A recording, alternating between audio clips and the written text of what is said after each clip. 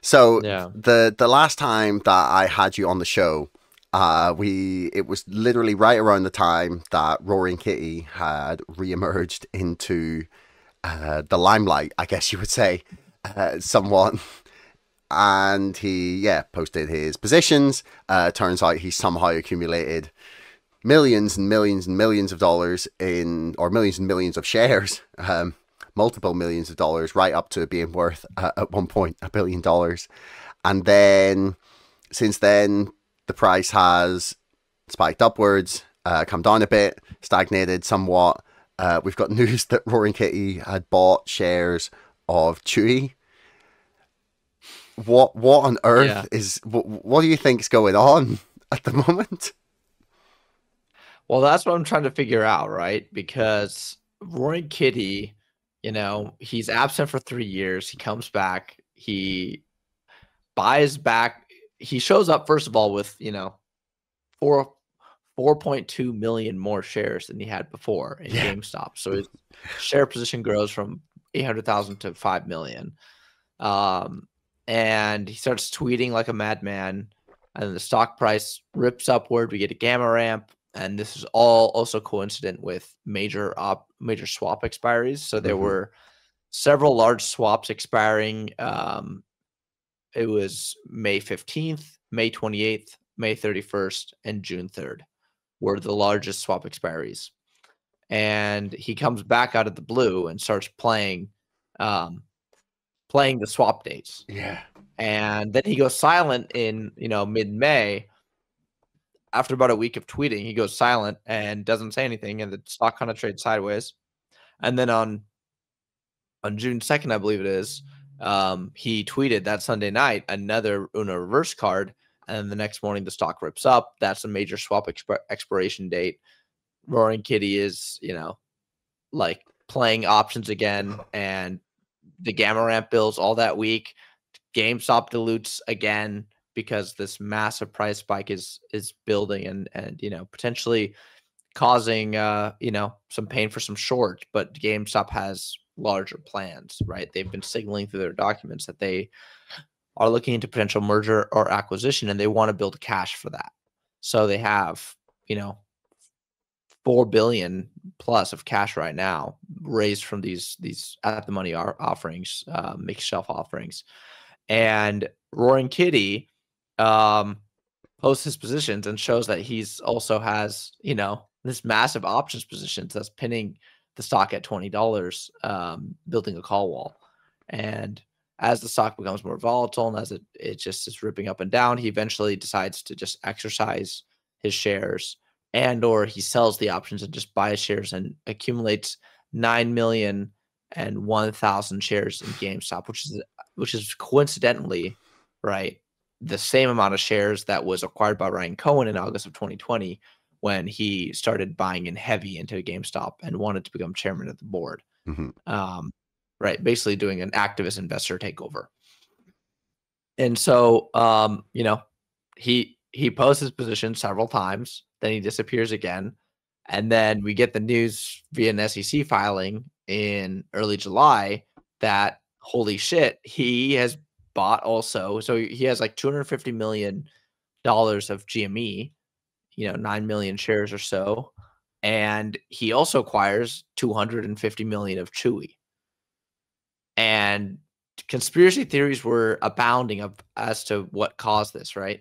Um and you know there's there's two or three may- maybe we should say there's there's two main options.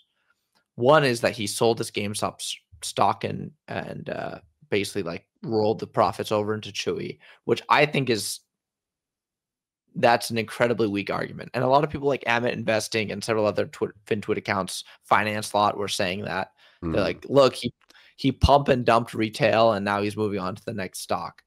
But I don't see the fundamentals for Chewy as being markedly different than the positive fundamentals for GameStop. Mhm. And I also don't see, um, you know, I don't see the squeeze potential for Chewy that there was for game and that there still is for GameStop. So the idea that he would sell after all these years of having a singular play that he made two hundred and fifty million dollars on, Mm. um, is kind of asinine. And again, the, the reasons that were given were one, he didn't like the the shareholder meeting. The shareholder meeting was boring and bland.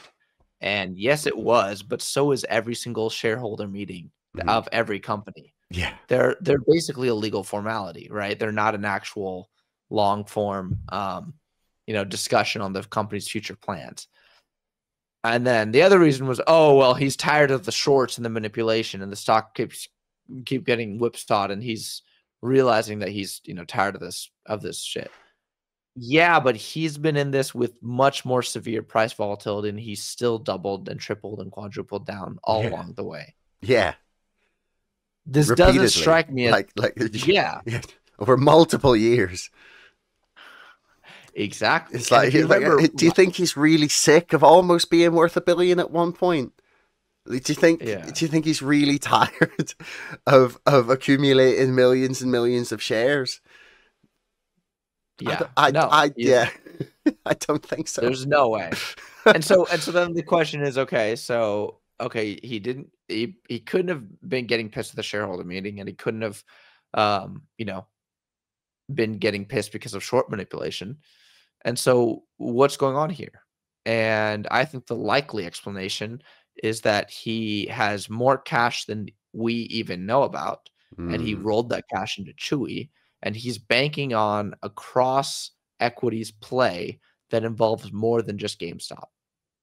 And so the working theory is he has he's getting his fingers in the pie of every company that Ryan Cohen's involved in, because maybe he believes, uh, you know, correctly or incorrectly, that Ryan Cohen has a plan, and that Ryan Cohen's plan involves his former company Chewy. And now this I looked at the numbers. It looks unlikely that GameStop could because Chewy's market cap is around 11 billion mm, and GameStop's market market cap is around 6 billion depending on where the stock price is day to day. And GameStop also has 4 billion in cash. mhm. So it would basically take everything GameStop has to do an acquisition, a straight acquisition. Now, could the two companies merge? That's a more potential solution where each each uh each company shareholder gets shares in the other company and they become one entity. Right. What what would be right? Like, what would be the benefit there for like as a as a as a business for to to improve the fundamentals? What is what does merging those two companies do for the, for each other? Well, see, that's the that's the question, right? And I think Chewy is a pet food supply company. Yeah. GameStop is a game and you know development um you know yeah game and and, and used collectibles basically company Mhm. and so on the surface these these two things have no correlation right and if you were looking at them in isolation you would also believe that oh my god gamestop's interesting but it's not that um it's not that unique and and chewy and gamestop combined don't really make a, a meaningful thesis unless you take into account the idea that Ryan Cohen might be trying to build a larger competitor to GameStop or to, to Amazon. Sorry. Mm, So if he's building a larger competitor to Amazon, if he wants to build a, if he wants to have ownership in all these companies that compete against Amazon in specific segments, this a combination like this could make sense, right? And this would also justify, right, the people saying the same thing about um, Bed Bath and Beyond, right? Why is Mm. Ryan Cohen listed as a creditor on their legal documents? And I don't know. But if Ryan Cohen is trying to create a massive competitor to Amazon and he's trying to get pieces of each of of companies that are in certain industry verticals that can compete with Amazon on a one-to-one basis, yeah. or maybe the, the or the companies that were potentially cellar boxed and you know were busted out by Amazon and Bain Capital, then this could be a potential um you know, this could be his potential strategy. And so again, you look at you look at all the companies that that could have could be targeted, right? Mhm. We're talking about Toys R Us, we're talking about Sears, we're talking about Bed Bath and Beyond, we're talking about um Chewy, we're talking about GameStop. Yeah. Like all these segments are segments that that Amazon now has a virtual monopoly over. But if if Ryan Cohen is able to cr- create kind of like a quasi Amazon um, competitor, that's a conglomeration of all these smaller companies, And he already has proven that he can beat Amazon, right? In the pet food segment. Chewy was able to grow to a bill, you know, eleven billion dollar company with Yeah. billion dollars in revenue, Literally. competing against Amazon, proving that Amazon does not have the, you know, the a unipolistic monopoly on everything. Hey, listeners, real quick. Do you ever find yourself sitting watching the stock market like this? Well, now you could instead be ordering my book like this. It's the story of GameStop. You can purchase it with a hoodie, with acknowledgements, or just with the early backers edition. It's all about the GameStop story. It's the real story, not just what you've seen on films. It's exactly what has happened over the last three and a half years. And with DFV back, I'm finally able to draw a conclusion to my book. Please pre order it. It really helps me out, and you will get it eventually, I promise. Hopefully this year.